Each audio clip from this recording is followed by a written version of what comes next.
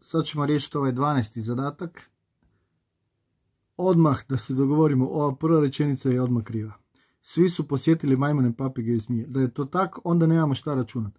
Znači, oni su barem posjetili jednog od njih. Ili zanemarite tu prvu rečenicu. Znači, idemo dalje. Njih 142 posjetilo je majmune i papige. 142 je majmune i papige. Onda idemo dalje. 87.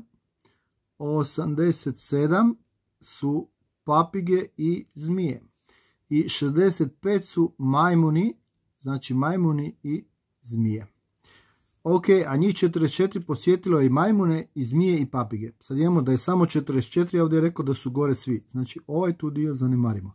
44 su posjetili sve. Znači idemo crtamo venove dijagrame. Ovo je jako težak zadatak za peti razred, to je težak zadatak i za prvi srednje, valjda od 99% ih ne bi znalo ni postaviti, ni u prvom srednje. A ni maturanti ne bi to bolje napravili. Znači, ok, majmuni, smije, papige. 44 ih je e, posjetilo i majmune, to piše ovdje, 44 posjetilo i majmune, znači majmune i zmije i papige 44. To pišemo ovdje, 44. I sad kaže ovdje, ide majmune i zmije, 65, ali ne možete ovdje upisati 65, jer već imamo 44. E, znači ovdje upisujemo 65 minus 44. Znači tu upišemo 21. Onda idemo dalje. Znači ovdje ide 65 minus ovih 44. Ok, imamo dalje, ovog smo iskoristili, sad smo i ovog iskoristili, idemo. Papige i zmije. Papige i zmije je 87, ali ne možete upisati ovdje 87 jer ste već 44 iskoristili za sva tri. Znači ovdje pišemo 87 minus 44 i tu upišemo tu razliku, a to je 43. Isto tako i ovdje imamo, znači smo iskoristili. Majmuni i papige 142, ali već smo iskoristili 44, znači ostalo je 142 minus 44, tu pišemo 98. Dobro, to je sad jedan dio. I sad bi to bilo to, to bi bilo kao recimo primjereno za peti razred, ali sad im dolazi jedna nepoznanica, znači linearne jednadžbe. Kaže ovako, koliko je posjetitelja posjetilo samo zmije ako je njihov zbroj, njihov broj za 20 manji od broja onih koji su posjetili samo majmune.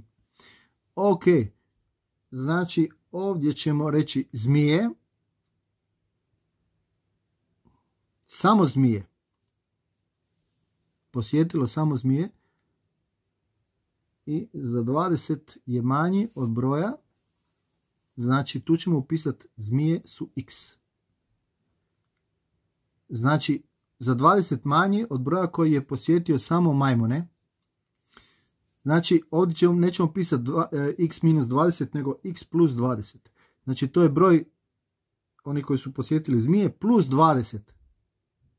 Jer ovdje, ako bi ovdje pisali minus 20, ovdje pišemo plus 20. I kaže dalje, da, imam krive naočale pa gledam, smeta mi stavak. Tri puta manje od broja oni koji su posjetili samo papige. Znači ovdje pišemo ovih je onda tri puta više, pa pišemo 3x. Tu pišemo 3x. Znači ovih je tako. I kad tak napišete, dalje je lagano. A? A ukupan broj posjetitelja je 361. Ukupan broj posjetitelja je 361. To, to nam je jedino važno. Da, od, od ovog gore, ovo ostalo drugo treba zanimariti. E sad pišemo svi ovi ovdje, kad izbrojimo, jednako je 361, pa pišemo x plus 20 plus 21 plus x plus 98 plus 44 plus 43 plus 3x je 361.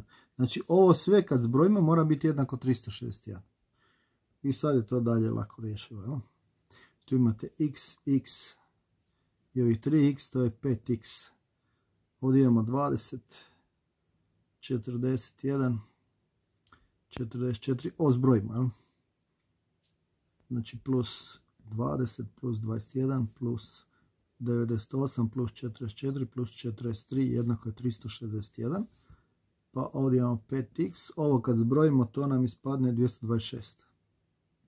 226 plus je 361. Znači onda pišemo 5x je 361 minus 226.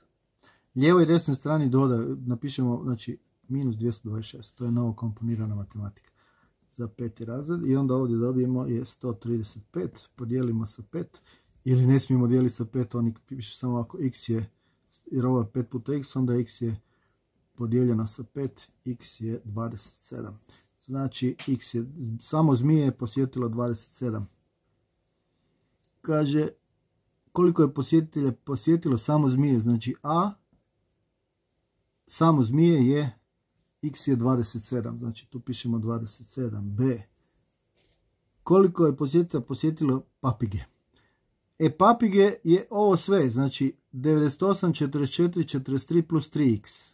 To su papige, znači 98 plus 44 plus 43 plus 3 puta x, a x je 27. I to sad izračunate u kalkulatoru.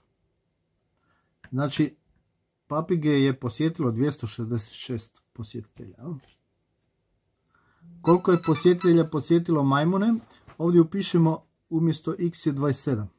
Znači po c rješenje nam je 27 plus 20 plus 21 plus 44 plus 98.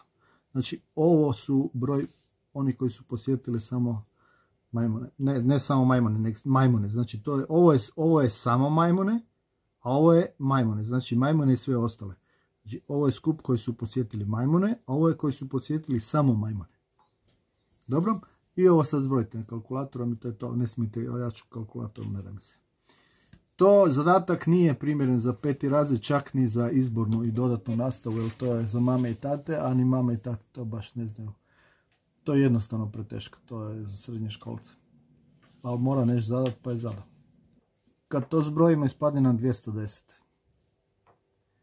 I to je to. Sad ako tu uvrstite, u stvari, probajte umjesto x upisati 27, pa dobit ćete dobit ćete u zbroju 361 mora biti, to je za provjeru.